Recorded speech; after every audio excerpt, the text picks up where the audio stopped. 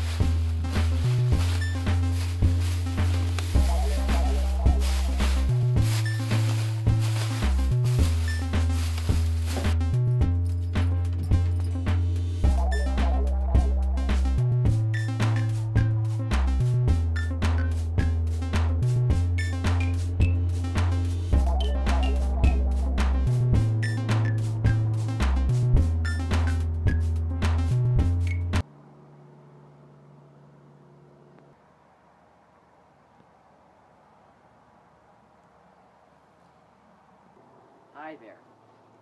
I've got logs. You want them? Yes?